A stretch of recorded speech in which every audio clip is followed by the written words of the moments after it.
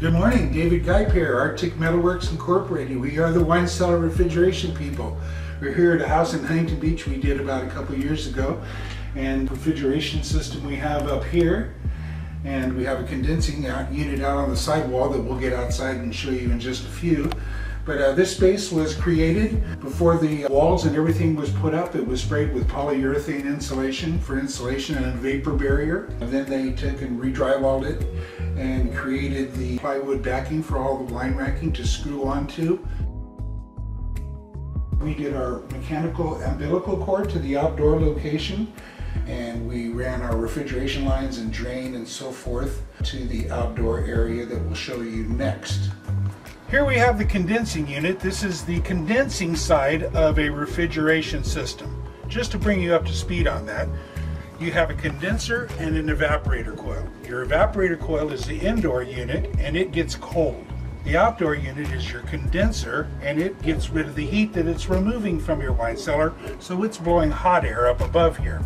It's Freon that's in there. It's a condensable gas that can live in a liquid and a vapor and they use that to be able to carry the heat away.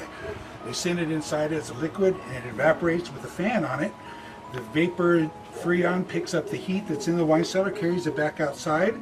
It goes into the condenser right there that has a fan like a radiator on it and it removes the heat that was inside the cellar and it just kind of gulps the heat out of the cellar until it eventually reaches temperature and then turns off.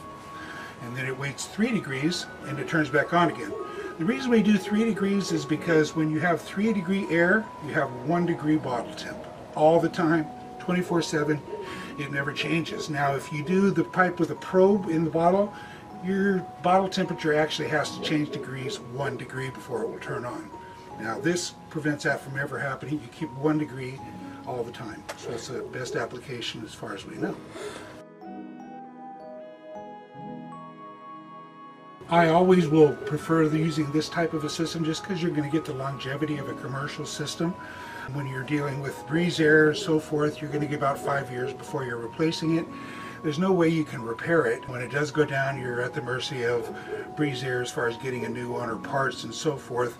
If you go down with us, we have servicemen in the field every day. And if you have a problem, we're out here within 24, 48 hours, and usually we'll have you back on within three days at the very, very most. Usually same day we'll have you back on. We have all the parts on our truck usually, so we can get you back on very, very quickly.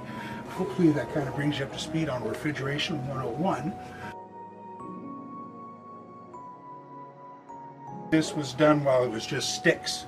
So we just hide everything in the structure itself. Now, if the house is done, that's a whole nother story. Cellars in the middle of the house, then the drywall ceilings have to be opened up all the way to an exterior wall.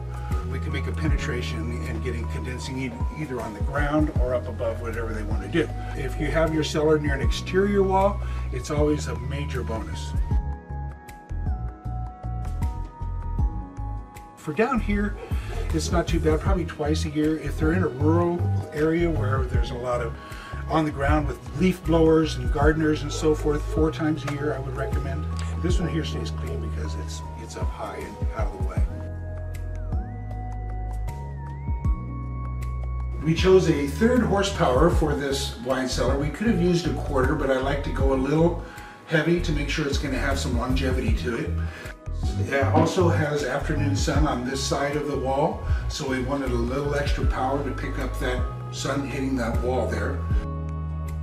And also the glass, of course, you know, this is a non-insulated glass here, and at 55 degrees it may sweat.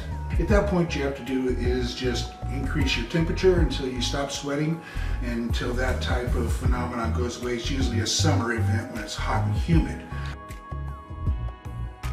beautiful glass doors. I have the same in my house. I enjoy the, the beautiful ice cube looking wine cellar that everyone seems to be enjoying. And also the label forward display is so nice because you don't have to pull your bottles out to see them. We have up here inside this concealed space, it's a commercial unit, so it's not real beautiful, but it is the hardest working and the best in the industry that I can buy. So if you notice it's louvered with uh, 3 8 gaps between each pieces of wood, allowing it to breathe properly. And up inside there, there's a pump also that catches the water and pumps it to an outdoor location. So you can kind of hear how loud it is, not too bad.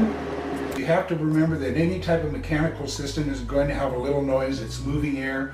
You're going to have to have the sound of a fan inside your wine cellar. That's just something you're going to have to live with.